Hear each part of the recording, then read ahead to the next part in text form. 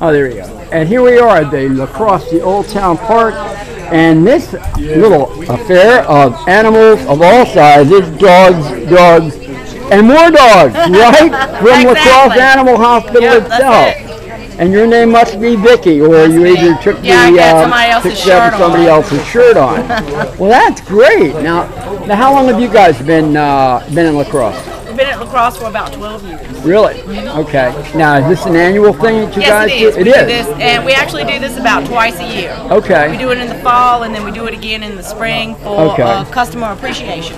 And we know only too well, Rocky, that they do uh, they do grooming and do a good job. In fact, there's the sign of it, the bow tie. That, that blue tie. If you see that blue tie, you know they've been treated extra special. Y'all having a good time? Good, good day for it. Within that, but yeah, we were kind of talking a little bit about the resurgence of live music and performance.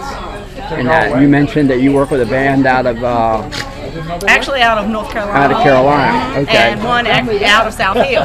Okay. So it's the Skeleton Crew, which is a two-man and a five-piece DWB. I just got, I just got, I just got a hell of an idea. Obviously, there are a lot of people in North Carolina sort of hating life right now.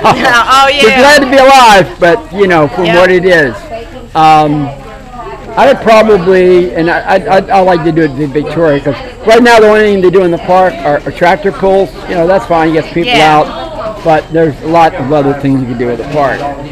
So, um, maybe when it cools off, I'm thinking maybe more in late October, November, before it gets real cold, might be needed to do a kind of a benefit concert type of thing. Oh, that'd be great. Is that yeah. something you might?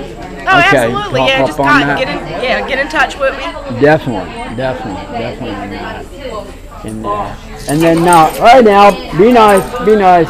And as far as the uh, lacrosse, uh, the hospital goes itself, uh, what, what are your hours? What, what, when Uh, we're, we're open from 7:30 to 6. Right. Um, except on Fridays, we all like to leave at 5 on Fridays. Can't blame you for that. and then we're open from 8 to 2 on Saturdays. Okay, it's, okay, you got a Saturday in there too. Well, that's that's We have great. two physicians that are there. Uh, our owner operator physician is on call till about 9 o'clock every night. Wow, wow. Yep, okay. hard working. And that's all. Uh, that's all types of uh, four-legged beasties. Oh, and yes. Uh, large animals, small animals, Yeah, yep. right.